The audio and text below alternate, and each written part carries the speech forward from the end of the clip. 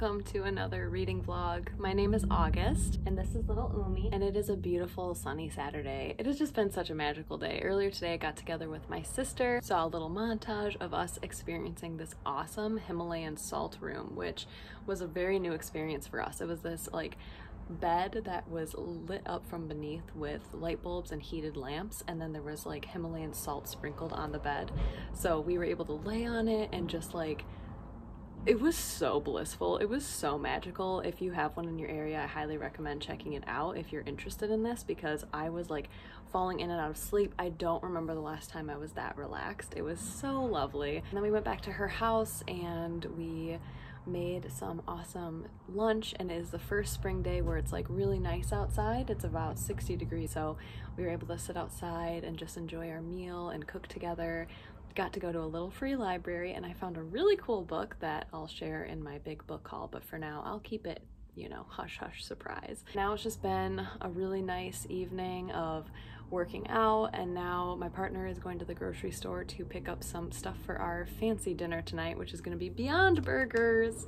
I'm so excited! I haven't had a Beyond Burger in a while so it's going to be really yummy and then the rest of the evening I think I just really want to spend it on our lovely couch back there reading and I just feel so blissed out, you know, and you just have like such a good day where it was like you're outside in the sunshine and now you're just feeling like perfectly lethargic and just want to soak into a comfy like place. I hope you're all doing really well and having a really lovely day so far.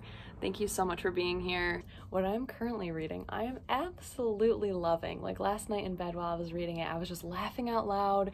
It is keeping me so entertained and it's exactly what I am looking for in the spring season. I didn't anticipate picking it up, but I'm so glad I did. And that is Midnight in the Garden of Good and Evil by John Berendt. This is a nonfiction book, which is so funny because when I first heard the title, the title was so familiar to me, but I didn't realize that it's actually nonfiction. Um, and it just catalogs the history and the quirky people of Savannah, Georgia. And it also kind of centers around this murder mystery. We haven't hit that yet, and I'm on page 78 and I'm just at the start of chapter 6 but it just follows and catalogs these really quirky characters in Savannah, Georgia and I'm absolutely loving it. I love the atmosphere, I love the writing style, I love the quirky real life people and their stories that we've met so far. It is so funny and just so entertaining and eye-opening as well as having history and context of Savannah. I'm really really enjoying this so I'm really excited to keep reading it tonight especially like especially with the vibes and the mood of today. It just seems like the perfect one to curl up with and just be thoroughly entertained by. It does not read like nonfiction at all, which is why I really like it right now. So that's what I'm currently reading.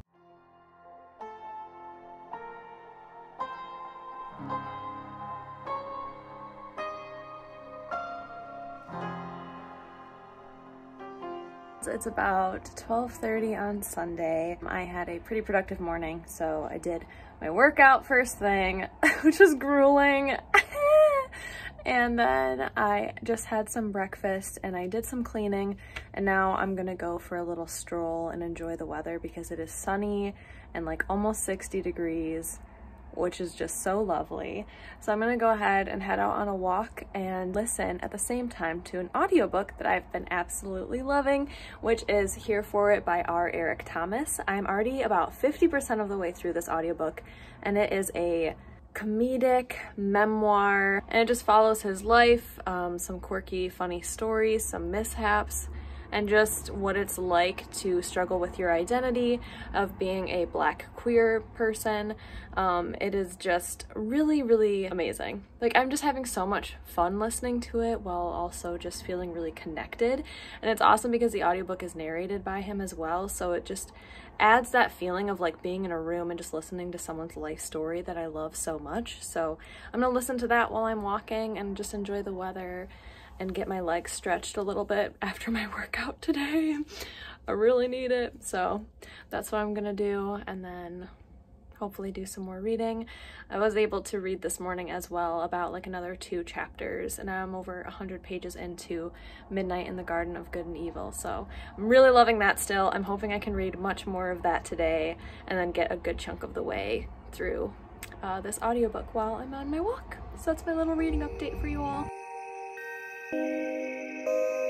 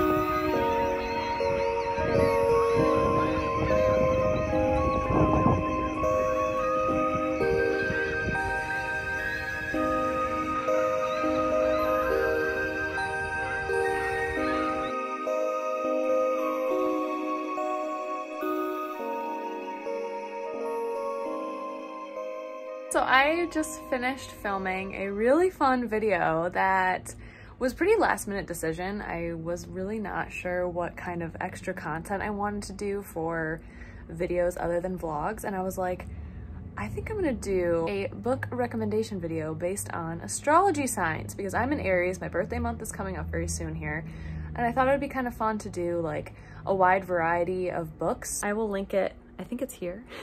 so bad with knowing what side it's going to be on. I would love to hear your thoughts if uh, if this is a little mini series that should be continued because it was honestly, I just had so much fun picking out books and like kind of curating things um, and choosing books very like intentionally based on kind of characteristics and traits and stuff. So I just finished filming that and I'm going to go ahead and just start editing. It is still such a beautiful day outside and I wish I had a backyard.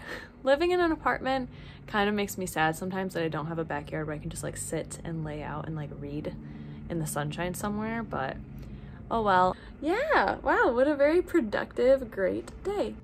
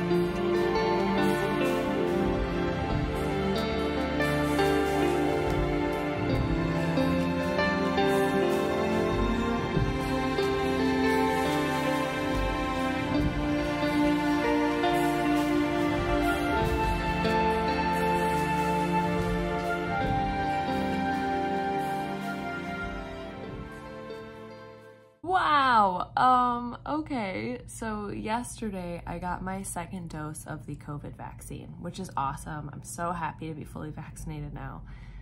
But it kicked me in the ass last night. Oh my god. Obviously, the side effects that I had from the shot nowhere close to actual COVID. So I'm grateful for that, but was in so much pain last night. It was like really awful shivers. I've never experienced shivers like that before, but like my teeth were chattering and I was like, I couldn't get warm enough and then I was like sweating too much, but it all happened like so fast in between each other.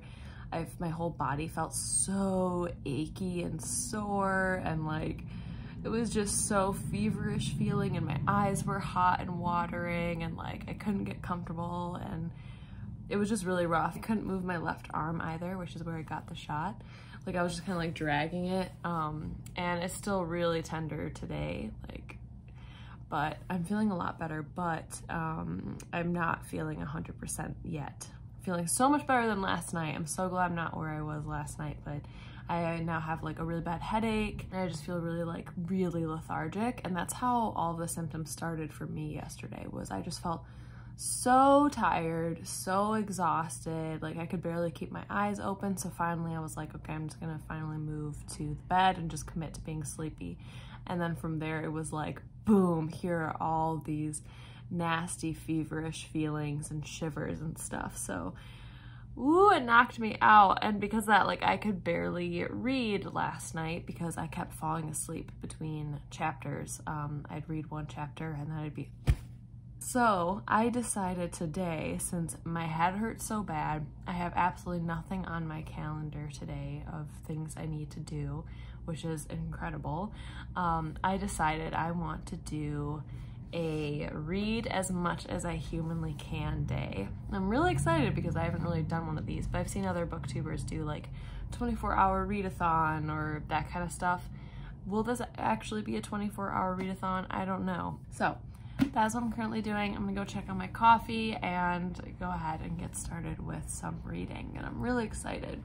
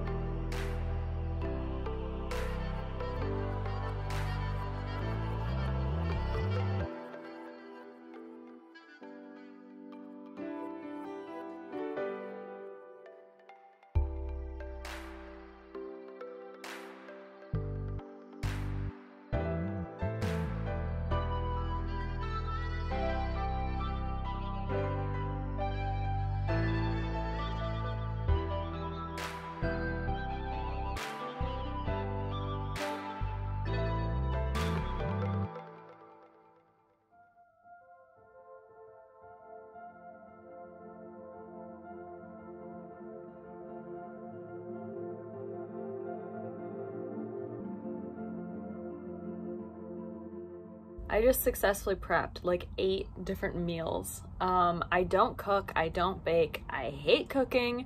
So this is a huge accomplishment for me. And I'm just really proud of myself. I did it and I only burned a few things. So that's that's pretty good. Um, that did take several hours though. It's like about 3 p.m. now.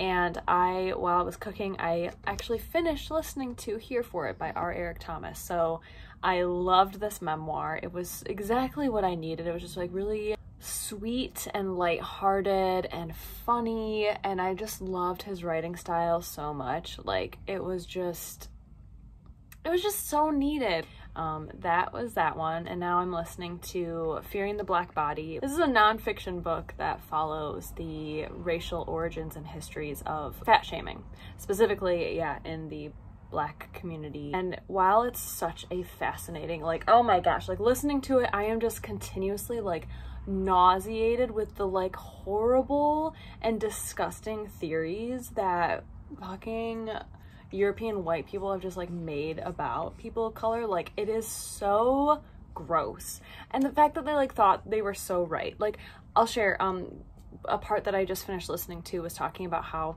there was this theory that black skin color was made because of buildup of black bile under the skin. Um, another horrible one was that um, this theory was that white people's foreheads protrude more and their lips are further back because they were made for thinking.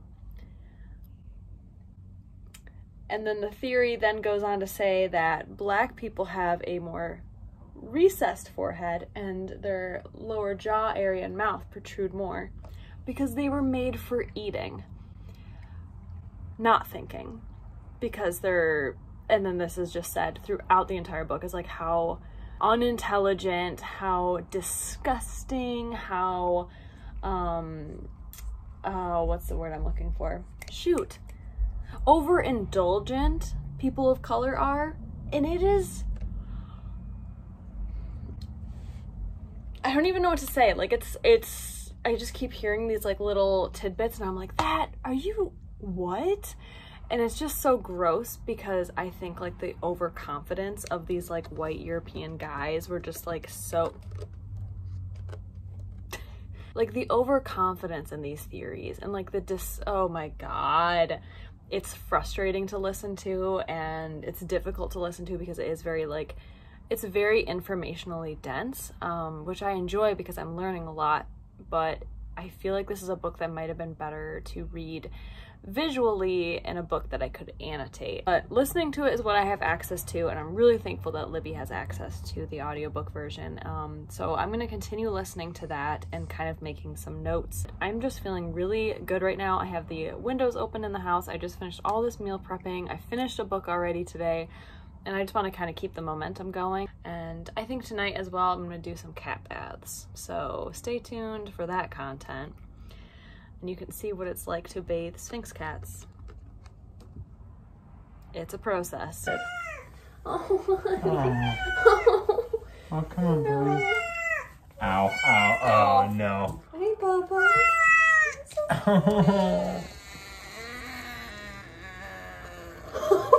was that him?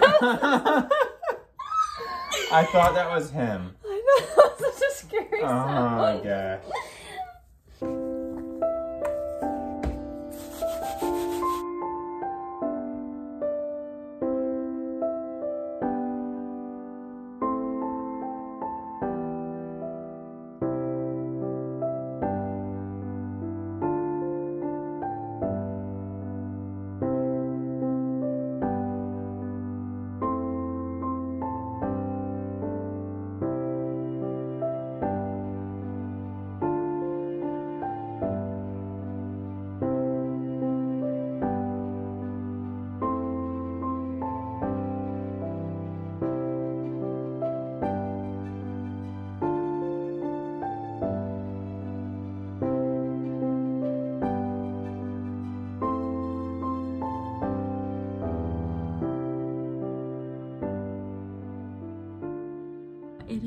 Time for me to close off this lovely reading vlog. Last night, I really surprised myself and I finished reading Midnight in the Garden of Good and Evil by John Berendt. I really, really liked this book. I ended up giving it four stars on Goodreads, only just because it wasn't like an all-time favorite. I feel like I've been saving my five-star ratings for books that like I can wholeheartedly say it's one of my top favorite books. So four stars is really, really good. I really enjoyed this. There were so many times where I had to like kind of pinch myself and remind myself that this is all real. Like these are real people, real dialogues, real things that happened. It felt so wild and quirky and weird and totally unbelievable, but it was real. It was all real, it all happened, and I'm so happy I read this book, and I am really looking forward to watching the movie now. I just really recommend this book. There are trigger warnings, though, for really racial and homophobic slurs. Um, it was very uncomfortable, but it's very eye-opening that even in like the late 80s, early 90s when this was written, that was still being said, um, and said aloud with like a lot of confidence and oh ah, bad. Mm-mm. Definitely keep an eye out for that. Definitely some trigger warnings, especially for like physical assault and murder, because this follows a murder trial as well. But overall, I just really enjoyed this book. I kind of wish I read it before I traveled and visited Savannah many years ago. I mean, I doubt I would have actually read this anytime because I was there like my last year of high school because I was actually looking into going to Savannah College of Art and Design. I was accepted there and I declined that because wow, expensive tuition. Their their tuition was nuts. So I wish I did read it because then I could go back and be like, oh my gosh, that's the house that that happened at, and that's that house. But I really enjoyed it. I do recommend it. I thought it was really cool, and I'm excited to see the movie adaptation, see what they did with that. So, and then, like I said, I did finish reading or listening to Here for It yesterday as well. I really enjoyed that one as well. If you have access to getting an audiobook, I listened to it over on Libby for free. So, like, if you have access to it, I definitely recommend listening to the audiobook because R. Eric Thomas like put so much of his own in voice inflections and personality into that audiobook that it felt like a podcast. It felt like a chat with friends. So I really recommend that audiobook. Last night I started a new book and oh my god, by page six last night, y'all, page six, I was geeking out. I was geeking out over this book. I was reading aloud so many paragraphs to my partner and I was like, oh my god. So this is a huge five-star prediction book for me. It has everything that I love in it and that is Our Tragic Universe by Scarlett Thomas. Wow, two books in a row that the author's last names are Thomas. That's interesting. Look at this cover first off. Look at that shiny gold. Shut up. Then the edges. The edges are black, honey. Oh my gosh, it's so stunning. I found this copy at Goodwill and it will be part of an upcoming thrift haul. Definitely keep an eye out for that. Oh my god, I can't stop wiggling it in the sunlight, but I'm really loving this book. It follows an author who is in this kind of like dead end relationship and as she kind of like falters with her life, but she's a book editor as well, so she reviews science books. And she recently got one that basically said, We're living in basically like a simulation, and the end of the world is like a real thing, but it's like a computer program almost. And when the world ends, everyone who's ever lived and everyone who had the potential of living will all live in one earth in one space and that's going to be considered heaven but it's going to be kind of like man-made like we have to make the decision to do it because it's like a program. I don't know but it's like i love shit like that. Like i love physics and time and mortality so much. Like it's my jam. I'm definitely noticing a theme the more i'm reading different books and picking them up. The ones that are my favorite have to deal with physics mortality time space continuums and just this existential dread. but this is so well written because it also takes place in this like seaside sleepy town in like the UK or something. But then she's also just like living through life and like it just has this romanticism attached to it and all of her, like her and her friends are all really highly intellectual and really intelligent and you just like get to listen in onto their really smart conversations and I just I love that shit. I love that shit. Like that's how I envision myself in the future is just like retiring with a bunch of like smart people and kind of like living in like a commune and just talking about physics and religion and time and philosophy forever that would be super rad. So I'm really liking this. I'm about, I'm 50 pages in and I'm really loving it. This is definitely a five star prediction for me, but we shall see. I'm like scared to read the rest of it though, because it's so good and I'm loving it. And I'm like, please don't disappoint me. But I'm so excited to tell you all more about this book. I'm flying through it. I just want to sit and read it. That's all I want to do, but alas, I have I have a job. I have things to do. So that's what I'm currently reading. And that is it, my friends. Thank you so much for joining for another weekly vlog. I appreciate you all so much. I would love to hear what books you're currently reading, uh, if you've read any of the books that I've read, all that fun stuff. How have you been? Let's let's chat down in the comments. I'll be there.